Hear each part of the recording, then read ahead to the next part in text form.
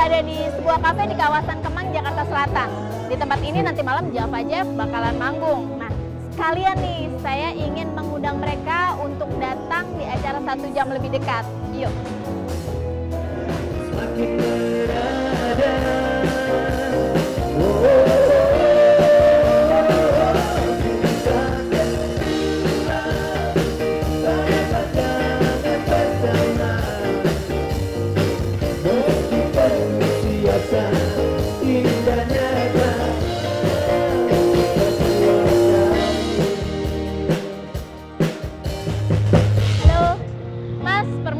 Mengganggu. Apa kabar? Halo Mas, halo Mas. Kabar baik. Sekarang kegiatannya lagi? Sekarang kegiatan kita sih masih aja manggung-manggung, off air Oke. kita masih jalan. Seperti sekarang ini kita lagi check sound, lagi JR salah satu Kafe ya. kita di kafe di Jakarta. Nah Mas, untuk mengobati kerinduan para penggemar juga nih, rencananya saya ingin Pada kangen mengundang Java Jeff. Iya benar, pada kangen. Makanya kita pengen undang Java Jeff di acara satu jam lebih dekat. Kira-kira gimana nih Mas di Bandung, Mas? Acaranya di Bandung. Mungkin jangan satu jam ya. Berapa? Tiga jam. Tiga jam. Oke, boleh juga tuh tiga jam bersama Java Jeff ya. atau sekalian kita kan mau keluar single yang baru Java Oke, Jive gimana oke. kalau kita uh, sekalian wawancara kita uh, perdengarkan juga single kita Ih mau banget, mau banget. Kau yang di sana terpisah jarak waktu. Aku di sini merindukan bayangmu.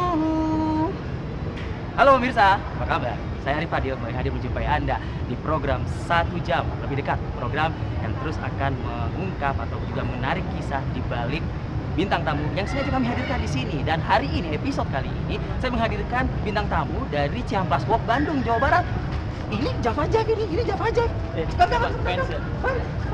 Buru-buru, buru-buru, lagi Iya, mau Kak. syuting. Mau syuting apa kak? Satu jam lebih dekat kan? dekat. Dengan Iya. saya Kang Arif Pagi Oh gitu. Eh, sama Hah? sama Indi kita janjiannya. Sama saya.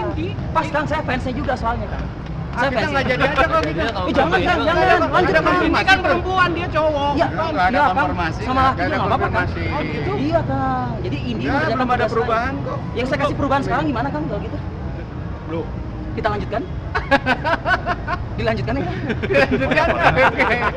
Kita lanjut aja. Jai, Wuh, luar biasa. Apa kabar teman-teman? Baik, baik. Alhamdulillah baik. Ini kita ngobrol lebih lanjut, lebih khusyuk lagi mungkin begitu ya Iya. di atas nanti, Iya, gitu kan? iya. Bersama dengan Java Jai, pemirsa ya. Oke. Mari Java Jai. Ya, sampai ketemu nanti.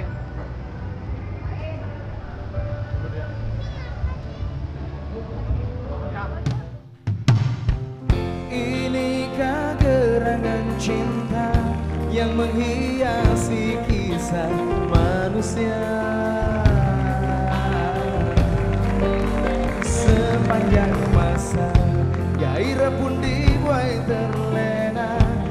Manis kata asmara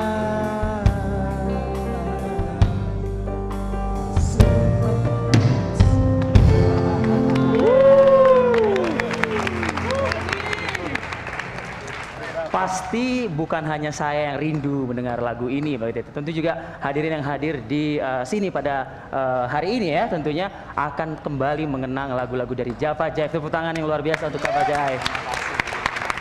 Satu jam lebih dekat bersama dengan Java Jive, tapi saya ingin kembali lagi merimain ingatan saya begitu. Fatur pada vokal, Nui pada bass, Dani pada vokal, Edwin pada drum, Capung pada gitar, dan Tony pada keyboard. 100 buat. Luar biasa. Dapat hadiah dong. Masih sehat berarti ya. Masih sehat, masih normal tentunya kan. Apa kabar Java Jive? Baik, alhamdulillah baik. Baik ya, bicara nama Java Jive ini. Dari mana sih datangnya nih? Dari mana nih Java Jive ini bisa muncul? Ini nih. Aja. Jive itu sebenarnya dari nama lagu ya. Manhattan Transfer gitu kan. Mic-nya kurang. dari Inilah mungkin sisi unik dari Java Iya. Jive ya. I like Oke. Ya, dari itu. Manhattan Itu ya? Transfer ya. Ya, Manhattan Transfer. Jadi dulu zaman SMA saya sama Edwin drum bikin sebuah band gitu kan sama teman satu lagi Zumar. Eh bandnya apa ya gitu kan? Pertama apa Win? Lady Ice namanya. Wah langsung dikomplain. Oh jangan. Nah, Terus eh, eh, apa dulu? Setelah Lady, Ice, Lady Gaga, banyak pokoknya. Tapi pas saya ngajuin, Lebih tren ya. iya, pas ngajuin Java Jive, Ah. Edwin setuju terus teman saya Zumar setuju gitu. Sounds good ya. Sounds good. Akhirnya ketuk palu Java Jive. Java Jive. Oke. Kalau orang Sunda bilang Java Jaib. Java, Java Jive betul. Java Jive. Java Jive betul. Itu artinya memang Nah, warung kopi. orang tapi ya. Tapi saya mendengar selentingan juga ada yang menyebut katanya Jawa ganteng begitu loh ibaratnya. Ya, kita bisa. About slang about Java mungkin ya. Itu slang Iya. Jawa. Kopi, Oh, itu pasti. gitu ya. Pasti ya ganteng. Ganteng gak sih? Iya, iya dong, awas. Ya. Jawa Jawa ganteng. Oh, luar biasa.